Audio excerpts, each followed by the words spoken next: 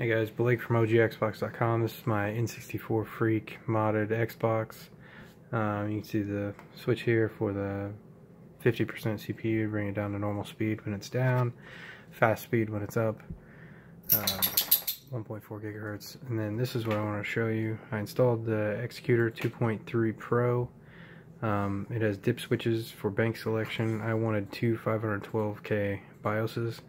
Um, so I put this in parallel with the dip switch that would control that.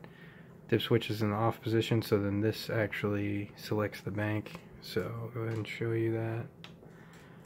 It's like Steve Benson always talks about splitting the T-SOP. I didn't use the T-SOP, I used the Xecuter. I didn't want to mess with the T-SOP on this one. Alright, so you can see the XDK launcher loads here. So, like for instance, there's the OG Xbox Unleash X dashboard. That's where I tested it um, before I released it to everybody. There's different versions there that I went through.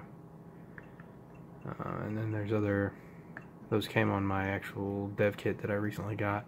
Alright, so let's power it off. We'll flip the switch.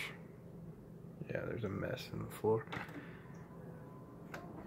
then you can see now it's just a normal modded Xbox and that's Xecuter 2 5035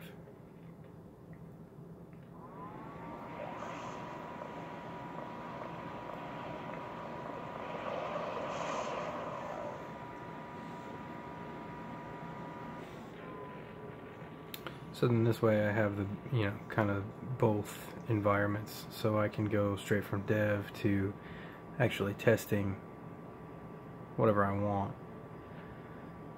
And so, just thought I'd show that to you. I uh, just did that mod recently, and um, it works really well. So, uh, I don't know if you guys, probably nobody wants a tutorial, they'll probably just uh, stick with splitting the T-SOP, but that's one of the big advantages of doing it, especially with this particular Xbox.